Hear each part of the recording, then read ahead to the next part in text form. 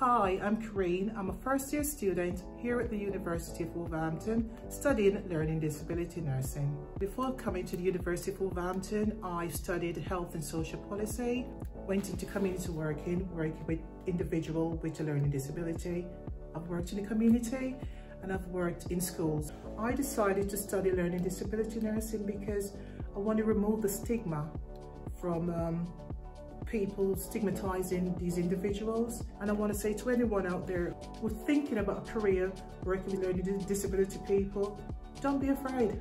These people love for you to come and get to know them. So take the opportunity and it's just like anything else in life. Don't take what other people say, you go and experience it. The lecturers here at Wolverhampton University, they're very professional and there is no question or, you know, that's not too hard for them to answer. Lynn and Sean, they're so supportive. They're, they're my go-to persons if I need any information on the learning disability side of my models. There's a network of people, not just on the learning disability side, but throughout the model, there's always someone you can go to. If there's something I don't understand, as a team, we discuss and, you know, I feel really honored to have that community here at Wolverhampton University.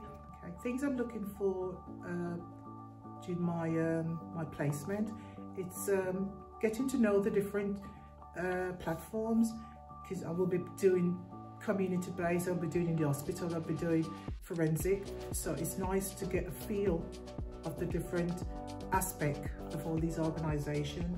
I've never done nursing before, so I'll be shadowing qualified uh, nurses. What can I do for, for the team? That's my, that's my aim because it's what I can bring to the team. It's not what they can give to me. So, so yeah, I'm looking forward to that opportunity. I wanted to do this just before COVID and um, it wasn't that wasn't the right time. So this is the right time for me. I wanted to take my career to another level because I know I can make a lot of difference with these people and their family and I can be an advocate and I can be I can be their voice